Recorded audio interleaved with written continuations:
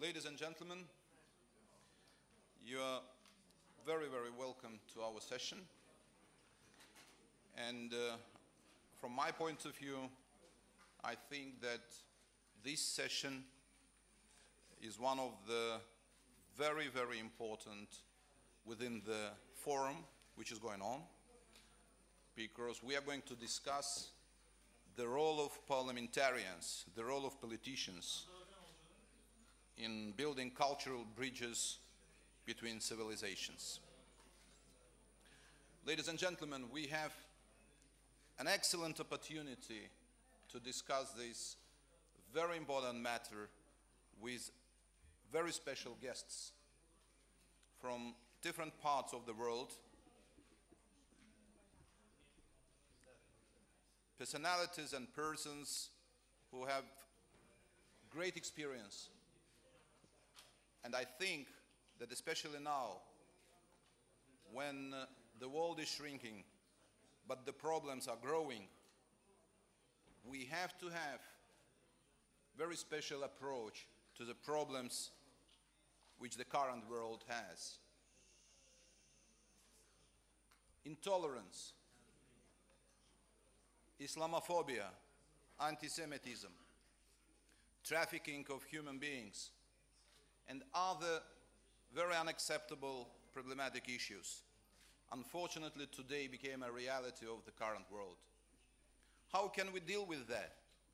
What we should do as a politicians? In which way we should go? All these questions we should address. And not from the local, short-term view, but globally, in order to find the solution. And from this point of view, I think, again, returning back to our very honorable guests, I think we will be able to cover to some of these issues. And of course, after presentations, we will be able to answer to some of your questions. Let me first of all introduce our colleagues and friends. I'm working as the chairman of the Foreign Relations Committee of our parliament, and I will try to do my best in order to moderate this panel. Together with us today, His Excellency, Chairman of the National Assembly of Djibouti, Mohamed Ali Houmed. You are very welcome to Azerbaijan, and I think that is really very golden opportunity to listen to you. I'm really honored to introduce first Vice Chairman of the National Assembly of the Milli Majlis of Parliament of Azerbaijan, Professor Ziyafat Asgarov. You are very welcome to our panel. Deputy Speaker of the National Assembly of Pakistan, Murtaza Javed Abbasi. You are very welcome, sir. We have very special guests, and I'm honored to introduce Baroness Manzoor from United Kingdom, from Great Britain. We are honored to see you here. Thank you for coming and being with us. First Vice Chairman of the Chamber of the Deputies of the Czech Republic, Mr. Radek Vondracek. You are very welcome to Azerbaijan, and I think that's really a great opportunity to know what is going on within our very friendly country.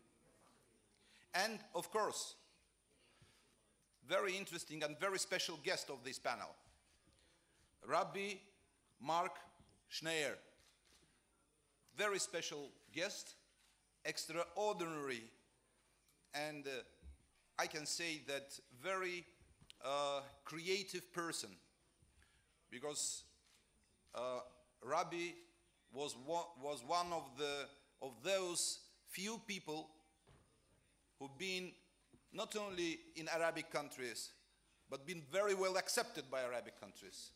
You are very welcome to our panel. Ladies and gentlemen, dear guests, I think in order to keep the time and to give an opportunity to our friends and colleagues and excellencies to express their views, first of all, I want to give the floor to His Excellency, Speaker of the National Assembly of Djibouti. Djibouti is a very special country, very important country, despite of the fact that Djibouti is not so big, but very influential. Djibouti has approximately 1 million population, but very multicultural. Djibouti today has very good relationship with Azerbaijan, and just for information, I want to say that within our parliament, just a couple of weeks ago, the friendship group with Djibouti has been established, and the leader of the uh, friendship group is here also. Your Excellency, the floor is yours. Merci beaucoup. Mesdames et Messieurs, mes chers collègues, les honorables parlementaires, tout d'abord, merci donc aux organisateurs de ce forum mondial de m'avoir invité et offert l'occasion de dire quelques mots à cette tribune sur le thème du forum. J'apporte à l'aréopage des personnalités ici réunies les salutations des représentants des peuples de la République de Djibouti, une nation de la rive sud de la mer Rouge dont les habitants sont ici de nombreux brassages culturels, un pays qui constitue un trait d'union entre le monde arabo-musulman et l'Afrique, havre de paix et de stabilité dans une région malheureusement tourmentée et par conséquent terre d'accueil et de rencontres avec tout ce que cela implique comme métissage interculturel, influence et emprunt réciproque, en somme comme dialogue interculturel au quotidien.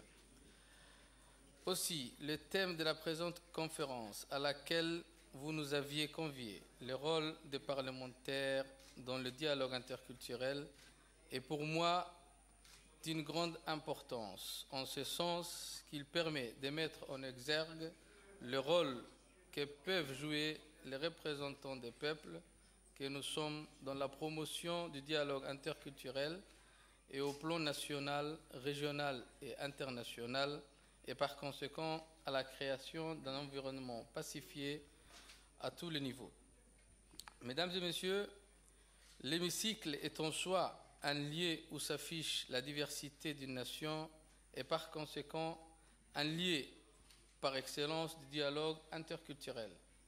En tant que législateurs, les parlementaires ont un rôle très important pour initier et voter des mesures efficaces pour préserver et promouvoir la diversité culturelle et pour encourager l'épanouissement de toutes les cultures du pays et ce faisant le dialogue interculturel. Ils doivent aussi influencer le gouvernement à respecter et promouvoir dans ses actions et à travers ses institutions le dit dialogue interculturel. À cet effet, il est donc important que les parlementaires assument pleinement leurs responsabilités. C'est notre souci au quotidien dans l'exercice de notre mandat. Dans la vie de tous les jours, en leur qualité de leaders d'opinion, ils doivent multiplier les initiatives visant à renforcer le dialogue interculturel jusqu'à la base et d'identifier des espaces de communication et de partage des bonnes pratiques propices à ce vivre ensemble. Les parlementaires peuvent aussi assumer le rôle de plaidoyer pour un dialogue interculturel dans les forums régionaux et internationaux de par leur participation aux réunions des unions interparlementaires régionales, continentales et mondiales.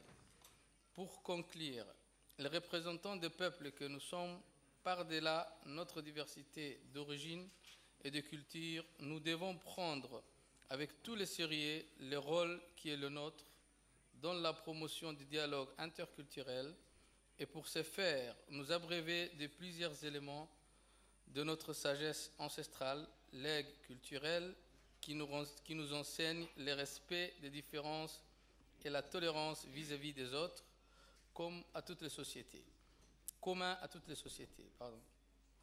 Également, nous devons nous approprier et assurer la promotion par tous les biais des gestes historiques, comme par exemple chez nous celui de ce roi chrétien d'Abyssinie, passé à la postérité dans la mémoire collective des musulmans des dérives de la mer Rouge en particulier et des musulmans tout court en général, sous, sous le nom de Ahmed al-Najassi, célèbre pour avoir accueilli au VIe siècle de l'ère moderne les adeptes de l'islam naissant, chassés de leurs terres d'Arabie par l'intolérance et leurs frères, et de ce fait amorcer un dialogue interculturel et interreligieux. Sur ce, je vous remercie infiniment. Merci beaucoup. Thank you very much for this really fascinating and very important statement and words. Really, uh, intercultural dialogue, uh, very, very important, especially on the level uh, of politicians and parliamentarians, and we should do our best in order to promote, to do our best for that. And I'm really proud, for example, as a representative of Azerbaijan, that within our parliament we have representatives, of course, of different religious and minorities. Within our parliament, we have uh, representative of the Jewish minority in Azerbaijan, Russian minority in Azerbaijan, and we are doing our best in order to be equal, which is the very important for the country where 95% approximately are Muslims. That's why, from this point of view, I think, with my great pleasure, I want to ask His Excellency, first Dep- Deputy Speaker of Azerbaijani Parliament, Professor Ziyafat Asgarov. Just for information, I want to say that Professor Ziyafat Asgarov was the part of the working group which designed the first constitution of the Republic of Azerbaijan. And as a professor, he wrote a lot of books, articles, and he's a great lawyer. As a lawyer, as a politician, as the first deputy uh, vice chairman of the parliament, what do you think about the role of the parliamentarians, Professor? Please, the floor is yours. Təşəkkür edirəm, hörmətli Səməd müəllim. Hörmətli həmkarlar, sessiya iştirakçıları, xanımlar və cənablar.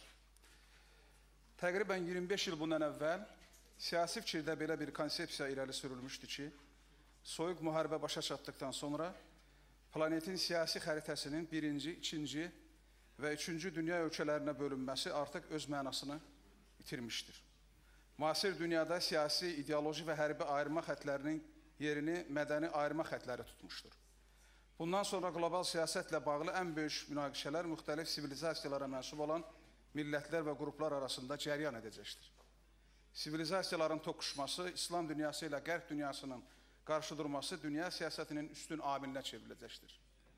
Lakin tarixi prosesin gedişi göstərdi ki, müasir cəmiyyətin həyatı üçün sivilizasiyaların toqquşması deyil, bir-birinə qaynayıb qarışması daha xarakterikdir. Digər tərəfdən bu gün qarşıya çıxan çoxsaylı problemlər bəşəriyyətin bütün qüvvələrini və səylərini birləşdirməyin alternativi olmadığını nümayiş etdirir, olmadığını nümayiş etdirir. Dünya birliyi, iqtisadi maliyyə böhranı, beynəlxalq terrorizm, təcavüzkar separatizm, mütəşəkkil cinayətkarlıq, narkotik vasitələrin qanunsuz dövriyyəsi kimi problemləri, yoxsulluq, iqlim dəyişikliyi, təbii fəlakətlər, epidemiyalar kimi təhlükələri aradan qaldırmağın səmərəli yollarını tapmaq zərurəti ilə üz-üzə qalmışdır. Müxtəlif sivilizasiyalara mənsub cəmiyyətlər, xalqlar və dövlətlər arasında uzlaşmanın və əməkdaşlığın vacibliyi tarix boyu heç zaman bu qədər dərindən hiss olunmamışdır. Sübut etməyə ehtiyac yoxdur, yoxdur ki, qloballaşma bir tərəfdən millətlər və xalqlar arasında daha sıx və intensiv təmasların qurulmasına şərait yaradır, digər tərəfdən isə mövcud olan fərqlərin daha qabarıq şəkildə üzə çıxmasına və təəssüf üçün müəyyən gərginlik hallarının yaranmasına meydan açır. Belə görünür ki, dövlətlər arasında yaranan ixtilafların nizama salınmasının ən səmərəli vasitələrindən biri mədəniyyətlər arası dialoq aparılması yaxud bizim sessiyamızın mövzusuna uyğun olaraq mədəni körpülərin qurulması vasitəsilə sivilizasiyaların bir-birinə daha da yaxınlaşmasıdır. Bununla əlaqədar olaraq mən parlament diplomatiyasının əhəmiyyətini qeyd etmək istərdim. Parlament diplomatiyası parlamentlər arası əməkdaşlığın keyfiyyətcə yeni bir sahəsidir. O, dövlətlərin qarşılaşdıqları problemlərin həllinə, sivilizasiyalar arası dialoq üçün manilərin aradan qaldırılmasına samballı tövhə verir. Beynəlxalq siyasətlə məşğul olan bir sıra məsələlər, bağlı olan bir sıra məsələlərdə parlament diplomatiyası ənənəvi diplomatiya üsullarını uğurla tamamlayır. Azərbaycan dövlətinin xarici siyasətinin parlament ölçüsünü təmin etmək, dünya ölkələri, universal və regional beynəlxalq təşkilatlarla münasibətləri möhkəmləndirmək üçün Azərbaycan Milli Məclisi bütün imkanlardan istifadə edir. Parlamentdə 80-dən çox ölkənin qanunverici orqanı ilə əlaqədar üzrə işçi qrupları yaradılmışdır və fəaliyyət göstərir. Bu qanunverici orqanları dünyanın 5 qitəsində yerləşən ölkələri təmsil edirlər. Milli Məclisin deputatları bütün xarici səfərlərində, görüşlərində beynəlxalq təşkilatlarla fəaliyyət gedişində digər məsələlərlə yanaşı ölkəmizin multikulturalizm və tolerantlıq modelini daha yaxşı tanıtmaq üçün mümkün olan hər şeyi edirlər. Biz hesab edirik ki, hər bir mədəniyyət bu və ya digər xalqın ruhunun ifadəsidir. Dünya sivilizasiyasının zənginliyi onun tərkib hissələrini təşkil edən nadir və özgün mədəniyyətin vəhdətindədir. Sivilizasiyaların və mədəniyyətlərin dialoqu, rəngarəng ümumbəşəri dəyərlərin qorunub saxlanması insanlığın ali məqsədi olmalıdır. Azərbaycan dünyaya etnik mənsubiyyətindən və dini etiqadından asılı olmayaraq hər kəsin hüquq və azadlıqlarının müdafiəsinə təminat verən, xalqların mədəni sərvətlərinin qorunmasına və inkişafına əsaslanan demokratik cəmiyyət nümunəsi təqdim edir. Şərqlə Qərbin, şimalla cənubun qovuşduğu bir məkanda yerləşən bizim ölkəmiz İslam və Avropa sivilizasiyalarının dəyərlərini özündə birləşdirir. Mədəniyyətlər arası, dinlər arası dialoq və multikulturalizm Azərbaycanda dövlət siyasət səviyyəsinə qaldırılmışdır. Azərbaycan dövləti müxtəlif dinlərə etiqad edən insanlar üçün əminəmanlıq və xeyirxahlıq mühitinin yaradılmasına nail olmuş və bu prinsipləri milli qanunvericilik vasitəsilə dini etiqad azadlığı və dini dili, dini tolerantlıq çərçivəsində qoruyub saxlamışdır. Bununla yanaşı təəssüflə qeyd edilməlidir ki, Azərbaycan ərazisinin 20 faizini, yəni Dağlıq Qarabağ bölgəsini və onun ətrafındakı 7 rayonu 25 ildir ki, işğal altında saxlayan Ermənistan Respublikasıdır. Azərbaycana qarşı düşmənçilik siyasətini xristiyan-müsəlman qarşı durması kimi qələmə verərək, ənənəvi xristiyanlıq ölkələrində xristiyan həmrəyliyi duyğularını istismar etməyə çalışır. Məqsəd qonşu ölkəyə qarşı işğalçılıq və etnik təmizləmə siyasətinə haqq qazandırmaq, eyni zamanda ölkəmizdə dinlər arası və millətlər arası münasibətləri gərginləşdirməkdir. Əlbəttə, bütün bu cəhdlər indiyədək olduğu kimi bundan sonra da boşa çıxacaqdır. Azərbaycanda yaşayan xalqların və millətlərin dostluğu və qardaşlığı əsrlərin sınağından çıxmışdır. Bu gün Azərbaycan elə bir Azərbaycanda elə bir şərait yaranmışdır ki, müxtəlif sivilizasiyaların, mədəniyyətlərin nümayəndələrini bir araya gətirən dünya və Avropa miqyası tədbirlərin ölkəmizdə keçirilməsi ənənə halını almışdır. Bakı nüfuzlu beynəlxalq təşkilatların toplantılarına, beynəlxalq humanitar forumlara, mədəniyyətlər arası dialoq məclislərinə, dünyanın hər yerindən idmançıların iştirak etdikləri böyük yarışlara ev sahibliyi edir. 2015-ci ildə Azərbaycan paytaxtında ilk dəfə olaraq, tarixdə ilk dəfə olaraq Avropa oyunları uğurla keçirildi. Yaxın günlərdə İslam həmrəyliyi oyunları başlanacaqdır. Azərbaycan həmişə sivilizasiyalar, mədəniyyətlər arasında dialoqun inkişafına kömək göstərmişdir və bundan sonra da kömək göstərəcəkdir. İnanıram ki, göstərilən səylər, o cümlədən bu gün iştirak etdiyimiz ümumdünya mədəniyyətlər arası dialoq forumu, dialoq forumu kimi tədbirlər bizi addım-addım daha təhlükəsiz dünyaya yaxınlaşdıracaqdır. Elə bir dünya ki, orada hər bir xalq və dövlət sülh və əminamanlıq şəraitində yaşamaq və inkişaf etmək, öz mədəni sərvətlərini artırmaq yolu ilə ümumdünya mədəniyyətini zənginləşdirmək, bəşər sivilizasiyasını daha da irəliyə aparmaq imkanına malik olacaqdır. Diqqətinizə görə təşəkkür edirəm. Thank you very much, Professor. Thank you very much, Your Excellency. You're absolutely right. Azerbaijan is the country where East and West uh, can meet each other. And this is our privilege. But at the same time, we know another very important country in the middle of Europe, Czech Republic, which is also in the middle between East and West, but between within the Europe. What do you think? What is going on at the heart of Europe? What are you thinking about the challenges which we have? Because we can see a lot of Islamophobic, anti Semitic, and other dangerous tendencies. As a first vice chairman of the national parliament, you have all responsibilities, and please, the floor is yours. Thank you very much. It not, it's not easy after Mr. Vice Chairman to speak. Ladies and gentlemen, it's a great honor to me to have the opportunity to address you on such an important issue like interna- inter- intercultural dialogue.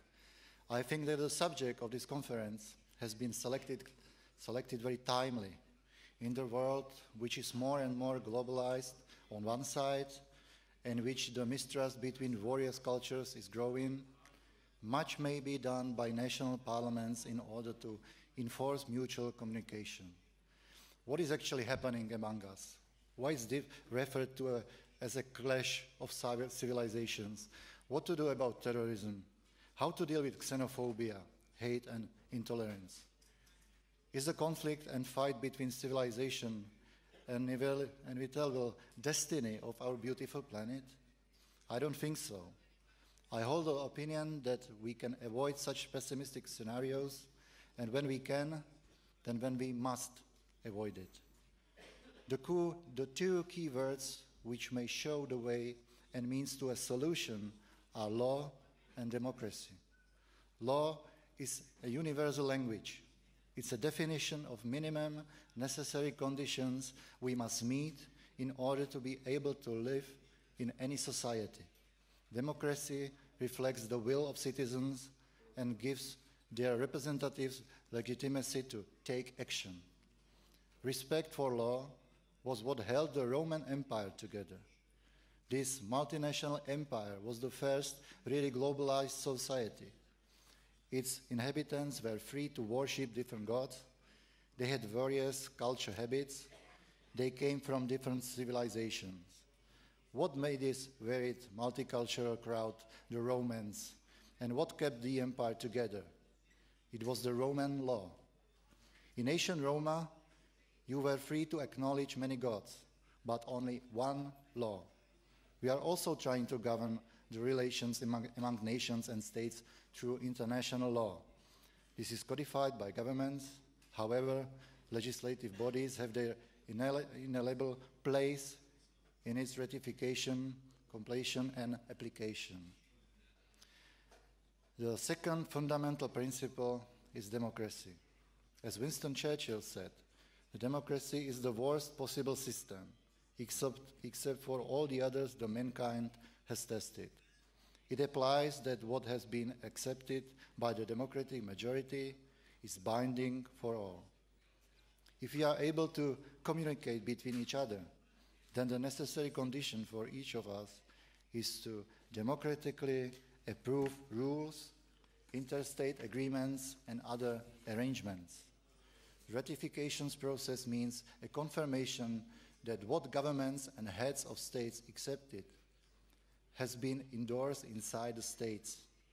The role of parliaments in implementation of international treaties into national law and in ratification of intergovernmental agreements is obvious. And quite obviously, it gives the legislative authorities the right and also duty to co-create the bridge over civilizations. Intercultural and inter-civilizational dialogue has been naturally conducted at many levels. It's participated by individual citizens, associations and organizations, businessmen, media. Unfortunately, the dialogue is not always informed and rational. Parliaments may contribute to suppressing chaos and strengthening the voice of common sense. Parliamentary missions are both exclusive and representative. Our representatives are sufficiently informed and granted with mandate for negotiations.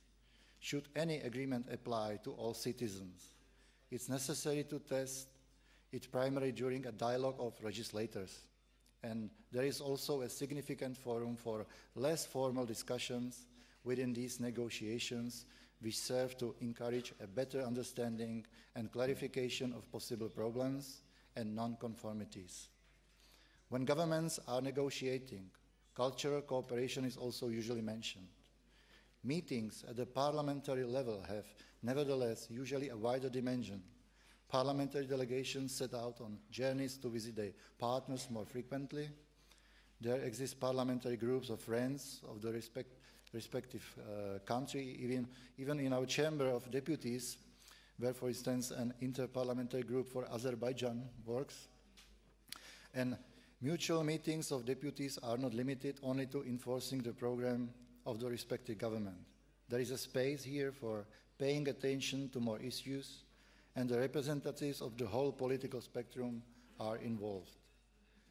What we deputies have to concentrate on is an effort to find as much context points between various cultures as possible, to find what joins us instead of what separates us from each other, but also, and maybe primarily, let us search for issues where we complement each other, where we may learn from each other.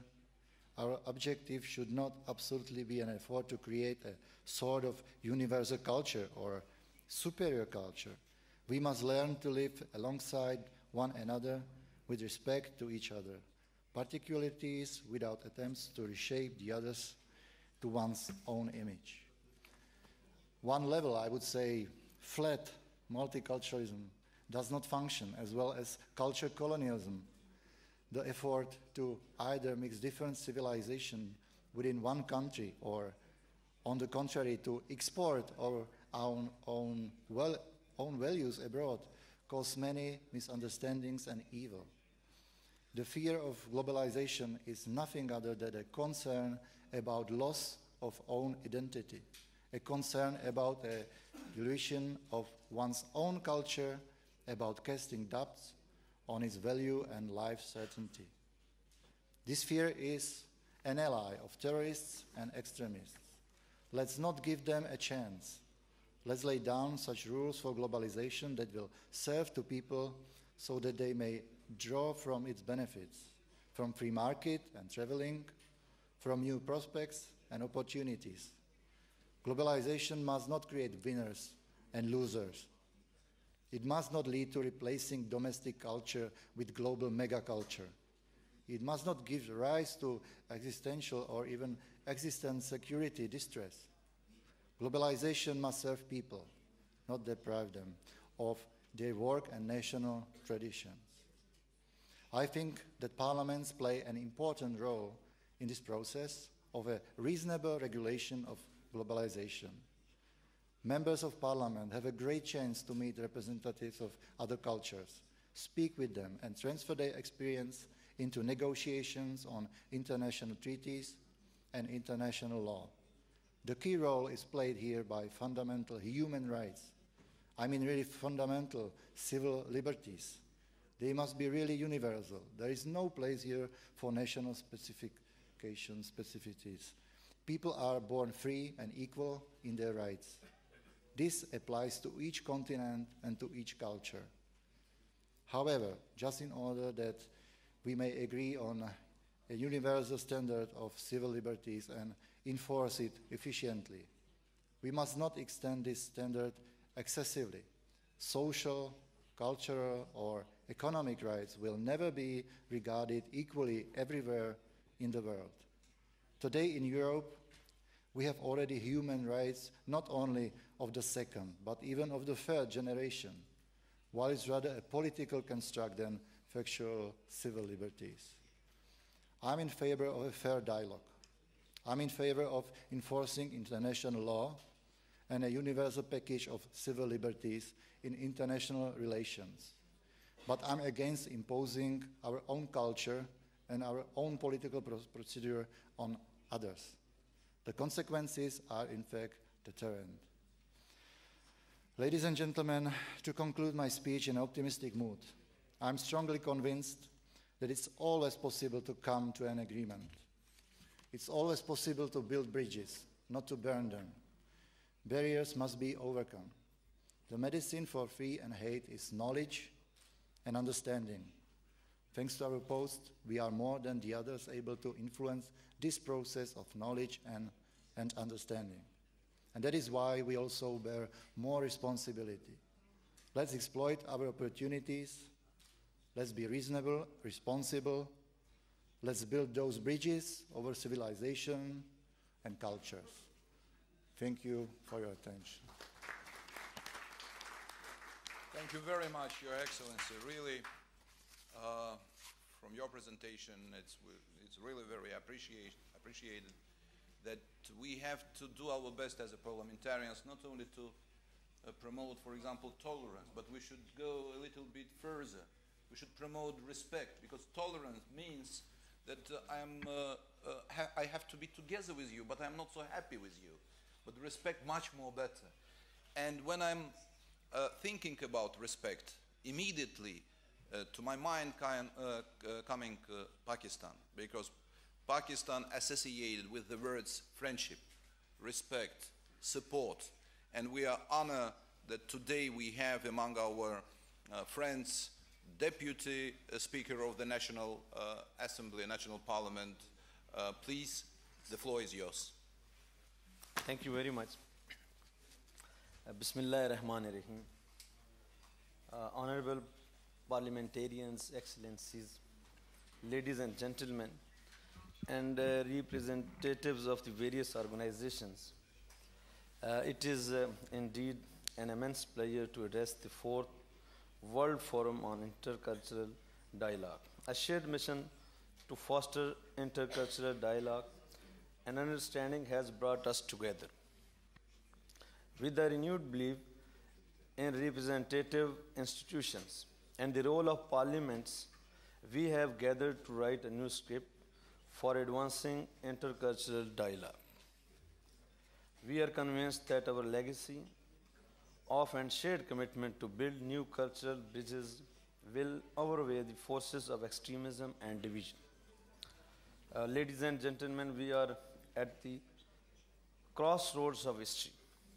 The regional and global dynamics are in a flux. The rise of terrorism across the globe, the cultural divide between East and West, fundamentalism and negation of diversity in various societies have posed a considerable policy challenge to the member of parliaments across the world. The world is facing numerous challenges linked to the globalization, migration, religious and intercultural conflicts, and rise of radicalism in, the, in this scenario. I am convinced that parliaments, parliament's role to promote intercultural dialogue, the application of both universal human rights and cultural rights, recognizing specific and multiple cultural identities is highly essential to build cultural bridges between the civilizations. While connectivity and interaction between various cultures and civilization is the unprecedented tolerance, dialogue, and acceptance in highly critical to peaceful coexistence. This compels me to quote former UN Secretary General Mr. Kofi Annan, who said, Tolerance, intercultural dialogue, and respect for diversity are more essential than ever in a world where people are becoming more and more interconnected. Excellency, building, building the bridges between the civilization is an important tool for inclusive democratic participation and empowerment of citizens, particularly in relation to common goods and public spaces.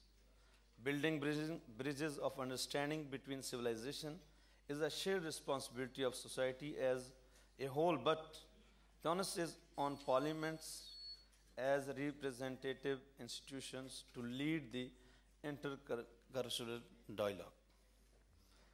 Fostering partnerships between the parliamentarians serve a bedrock of building bridges between the cultures and civilization.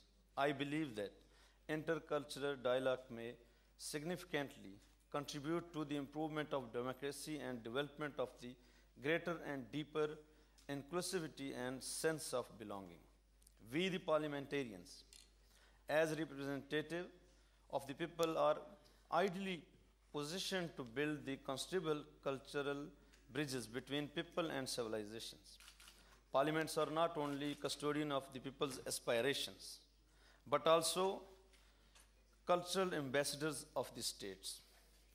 The representative nature of the parliament and its inherent capacity to engage in robust parliamentary diplomacy reveals that dialogue between the parliament is highly instrumental to generate shared understanding of each other each other's culture and social values.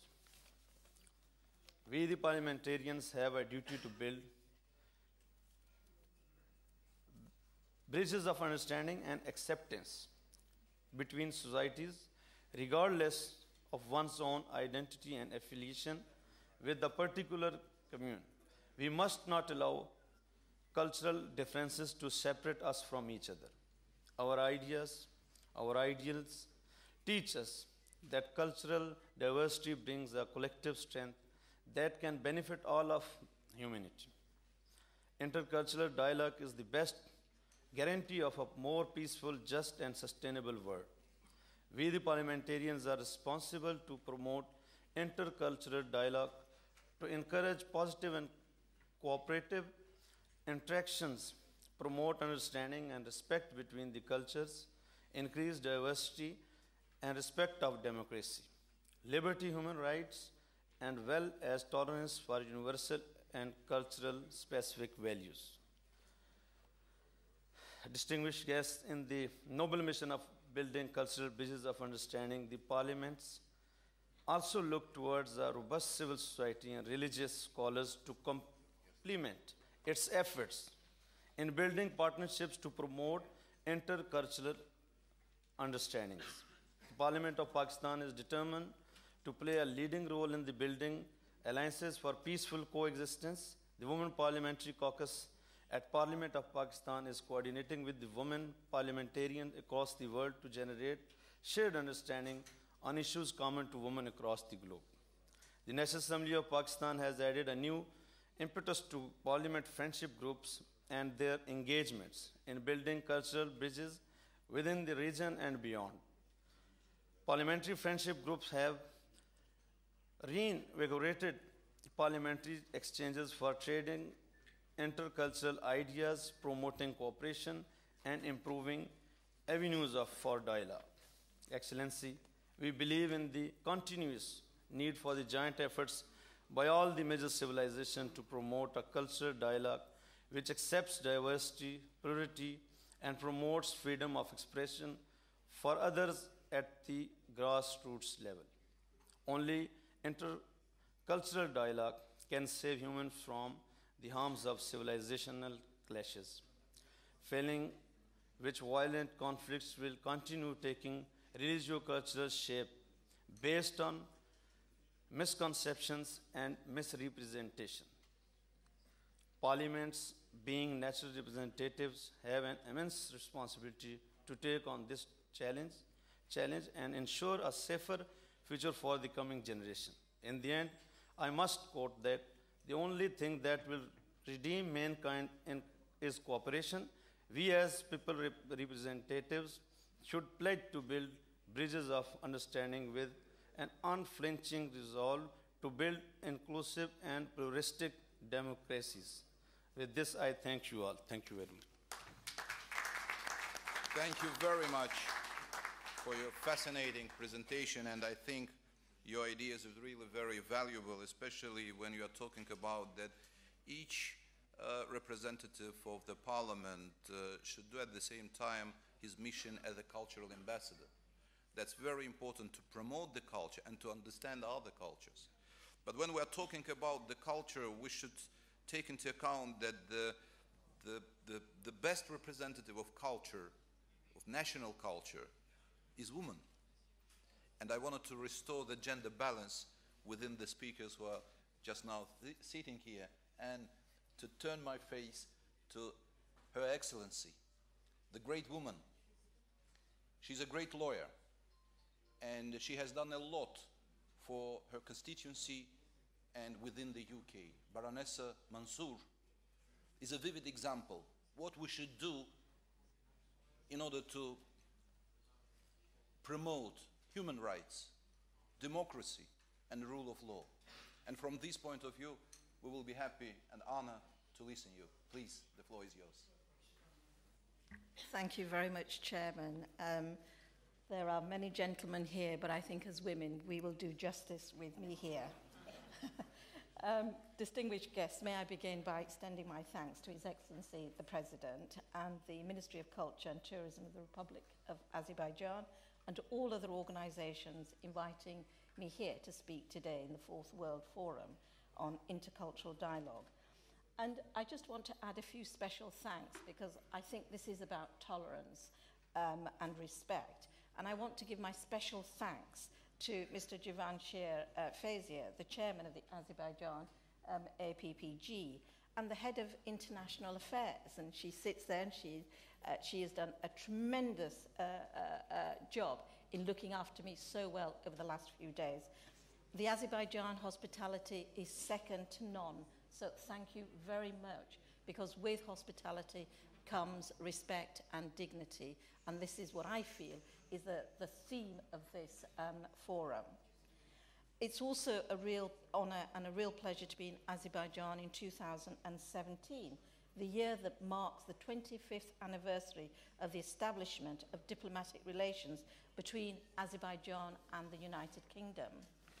The UK is proud to be the largest foreign investor in this great country, and I note with great and keen interest that the stunning complex which hosted this morning's opening ceremony was designed by an Iraqi born British architect. Given the theme of this forum, I felt this an interesting observation, this, this multicultural um, uh, view. I also recognise that this year approaches the midpoint of the International Decade for the Rapprochement of Cultures, and that this forum is therefore a timely reminder to assess how far the international community has adhered to the values of intercultural dialogue. We can spend time talking about these and we can have forums like this, but until we actually monitor what progress that you have made, we have made, then we can continue talking without any great results. Regarding the role of parliaments in building intercultural bridges, I think it is first important to highlight the fact that parliaments should provide an example of such bridges themselves.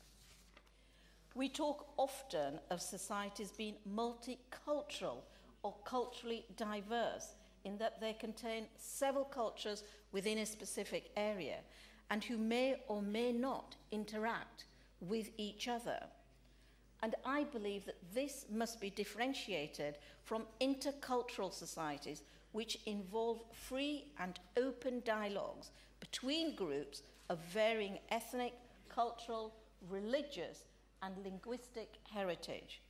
As such, it's necessary that parliaments do not represent multicultural entities with little meaningful discussion, but rather intercultural houses which allow for productive exchanges from varying perspectives not we live side by side, but we live together. We exchange views, language, and values. And underpinning the principles of intercultural dialogue is a respect for fundamental human rights, as my colleagues have already said, and notably these political freedoms of speech expression and assembly, thought conscience, and religion. As such, it's necessary that parliaments adhere themselves to these international human rights instruments to which they are signatory parties. There's no point in having human rights. We've signed up, all of us, each country, and then we abuse those human rights. And as part of this adherence, parliaments should look to mainstream cultural diversity by providing spaces which enable individuals and cultural groups to communicate their opinions and perspectives regardless of their cultural background, which in turn should allow intercultural dialogues to prosper. That is what it is we are, after all, intending to do. And these spaces need to exist within a commitment to the rule of law and democratic institutions, which in turn should endeavour to maximise political participation and engagement.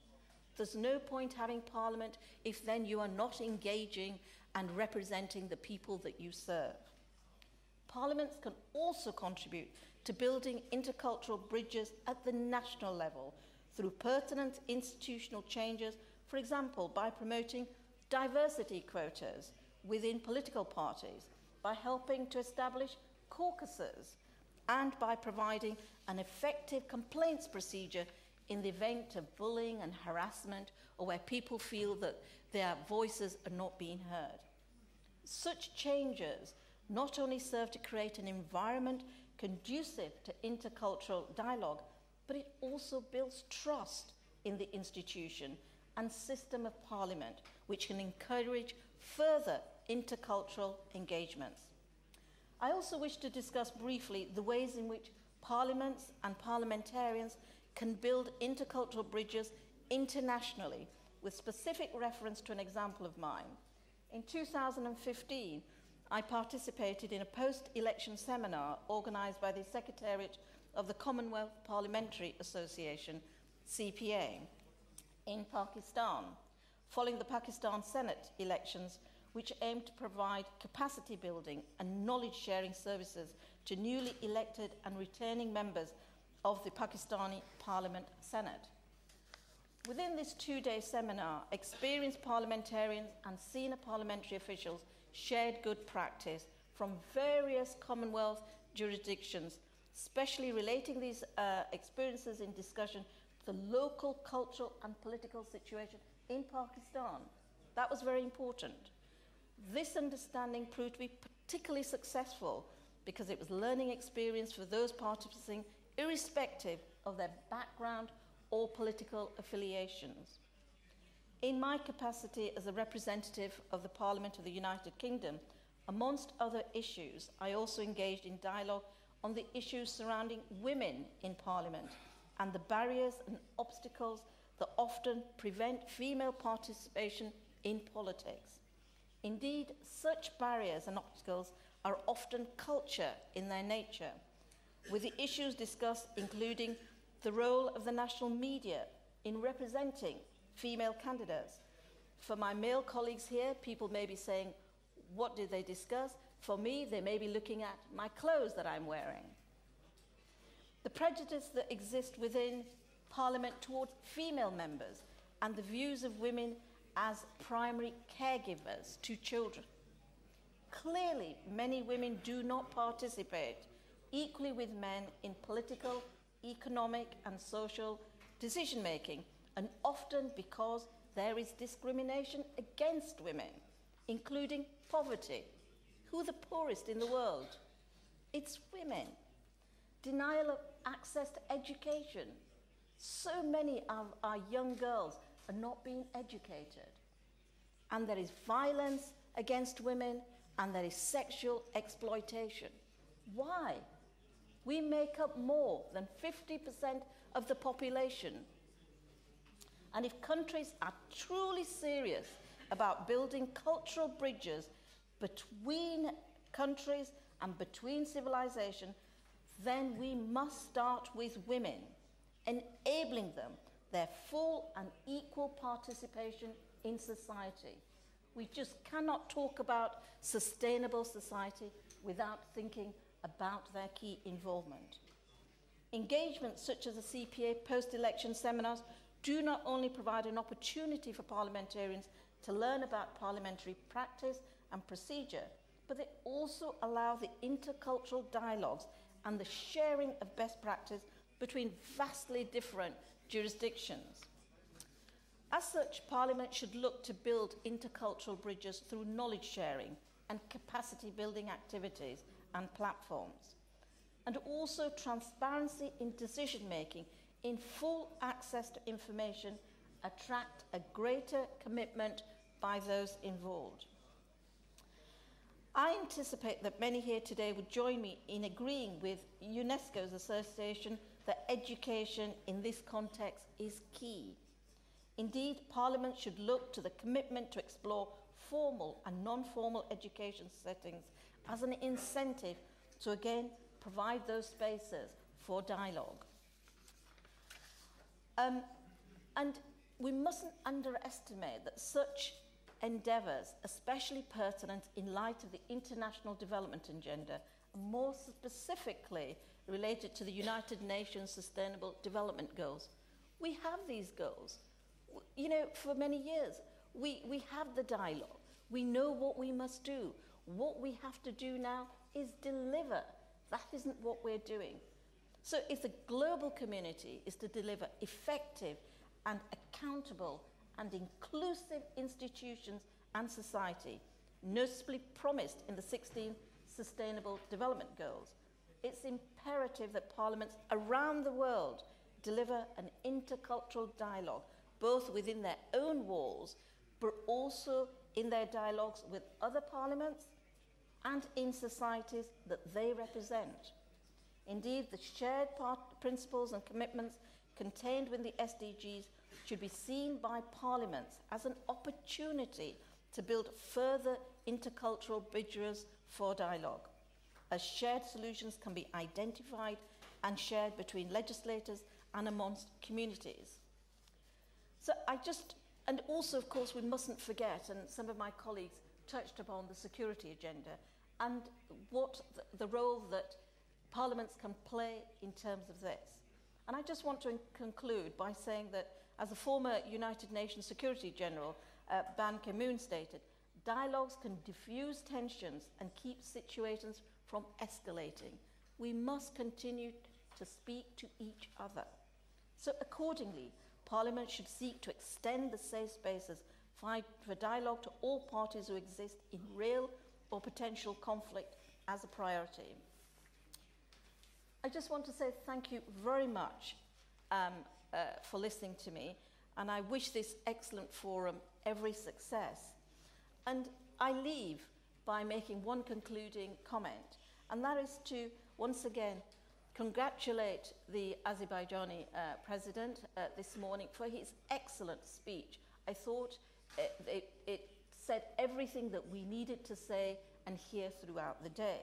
And also for the government for their work in A, developing this forum, but more importantly, to the people that I've seen, that I, that I have grown to love personally, for their honesty and their integrity.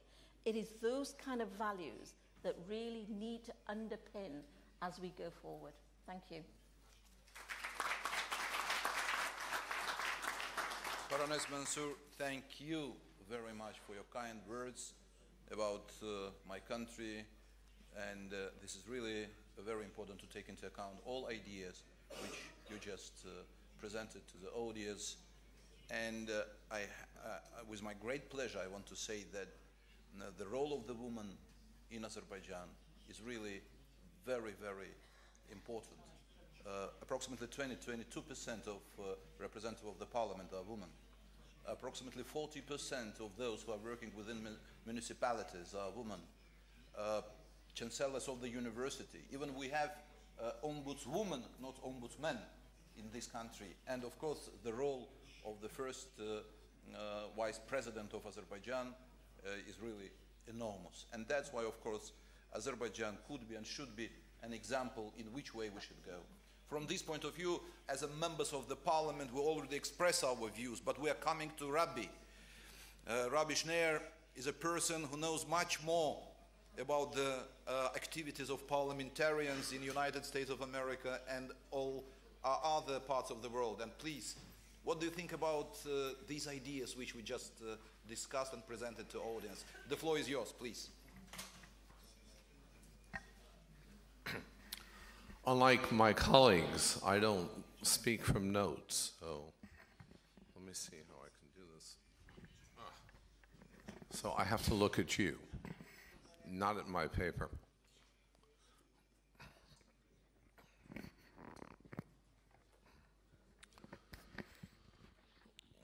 When the Nazis came to power in Germany, the leading Protestant clergyman of Berlin, Pastor Martin Niemöller, said the following, and listen carefully. He said, When the Nazis came to power, first they came after the communists, and I did not speak out because I was not a communist. And then they came after the Jews, and I did not speak out because I was not a Jew. And then they came after the trade unionists, and I did not speak out because I was not a trade unionist. And then they came after me, and there was no one left to speak out. And Niemöller concludes this immortal statement with the following words that an injustice against anyone anywhere must be the concern of everyone everywhere. I have paraphrased his comment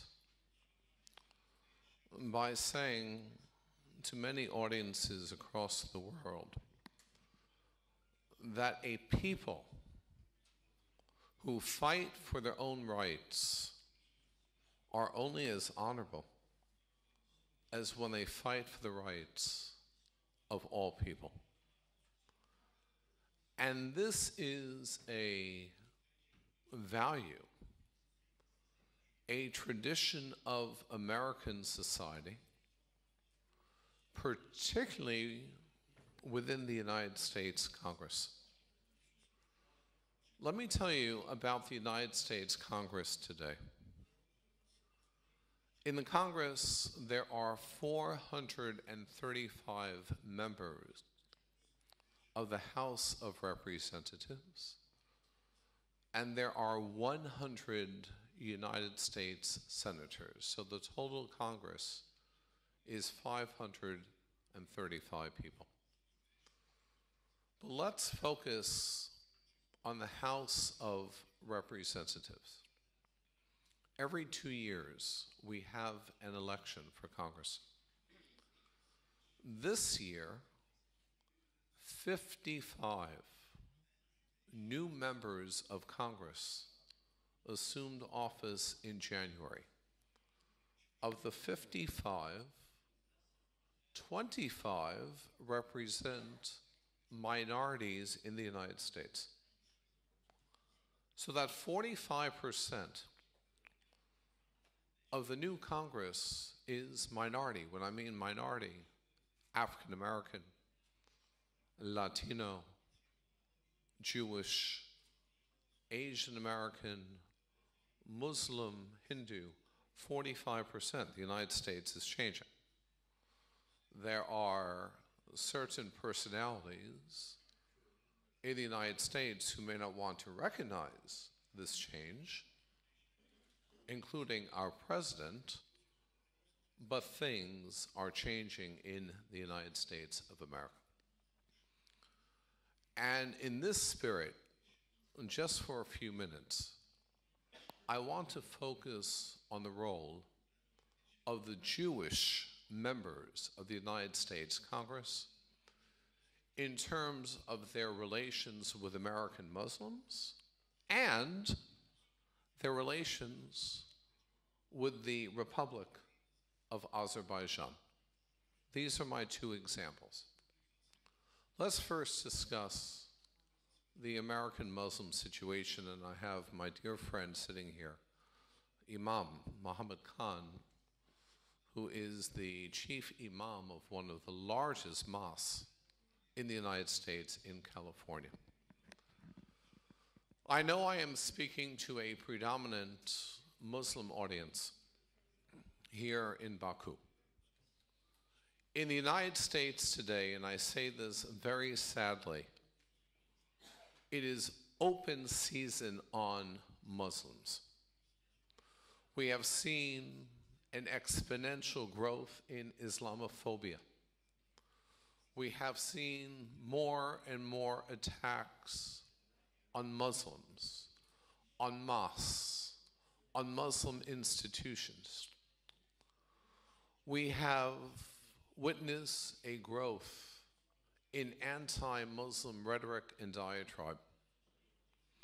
But we understand, and particularly the Jewish members of the United States Congress, and this is an example as to how a parliament can bridge the gap of civilizations that the Jewish members of Congress have become the greatest defenders of American Muslims because we understand that the Muslim fight is our fight.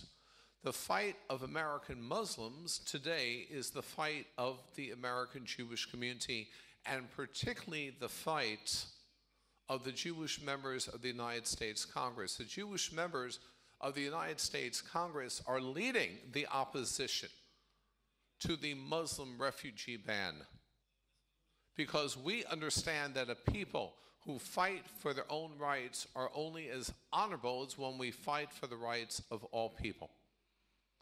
And this, Mr. Chairman, is a wonderful example as to how an ethnic group, there are 45 Jewish members in the United States Congress, how the Jewish congressional delegation has taken on this responsibility to defend, to protect, to champion American Muslims in the United States.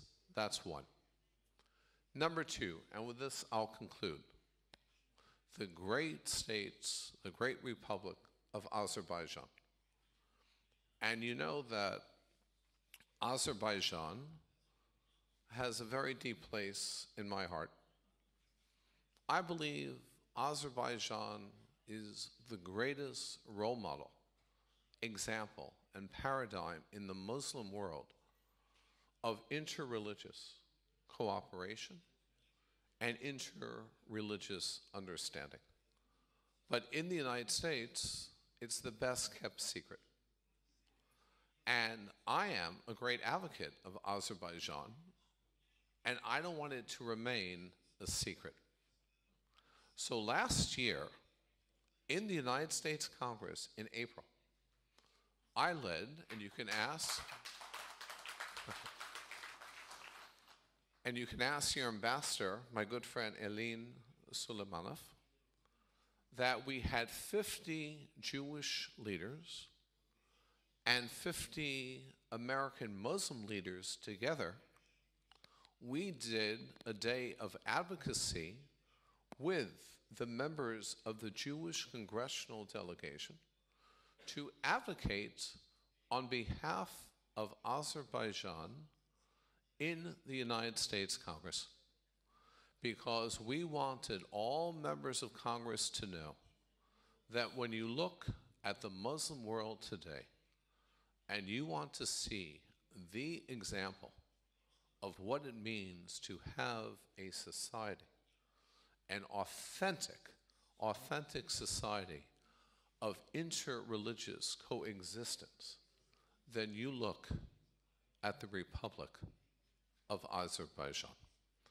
And this is just one more example of taking a parliament in particular the United States Congress, to create greater understanding between Americans and this civilization here in Azerbaijan. So I want to conclude. I want to conclude with this prayer that all of us need to see one another, Muslim, Jew, Christian, we should see each other as human beings who, has this, who have the same needs, the same hungers, the same feelings, and the same fears just as we do, who are children of God. We are all children of God, and we are all entitled to be treated with the dignity, the justice, and the compassion that we claim for ourselves. In this spirit, I am very proud of this value system in the United States of America, and I'm particularly proud of you, Mr. Chairman, of President Aliyev, and your wonderful country for being such a role model, not only to the United States of America, but to the greater world at large. Thank you very much. Thank you. Thank you very much, Rabbi Schneier. That's really a very fascinating presentation. Thank you for your ideas. You know, ladies and gentlemen, I'm working 17 years at the Parliamentary Assembly of the Council of Europe, and this assembly uh, is in uh, Strasbourg. And there is a very beautiful synagogue in Strasbourg. But unfortunately, the door of this synagogue is always closed. Not because the synagogue doesn't work, but because of security reason.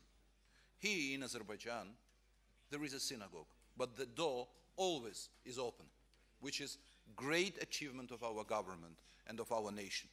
At the same time, we are proud, as my president said today early in the morning, that the one of the Asian mosques we have here in Azerbaijan and the number of mosques are growing because this is our tradition. In the center of the city, we have Catholic church. You can ask me how many Catholics we have in Azerbaijan. Not so many. But this is respect. This is our attitudes. And always, when our spiritual leader is going to abroad, he went together with spiritual leader, leader of uh, Orthodox Christians, Catholic Christians, and Jewish minority representative, which is really very important. Ladies and gentlemen, we're running out of time, exactly uh, in time. And I want to express my gratitude to these great panelists and to the great idea which they uh, just presented to the audience. I think we have to take into account all ideas and we have to take into account that there is a place in the world which called Baku, Azerbaijan, where different religions and different ideas meet each other and create something new, something acceptable for the rest of the world. Thank you very much for being with us. If uh, there is a questions or something like that, maybe, no. Thank you. Thank you.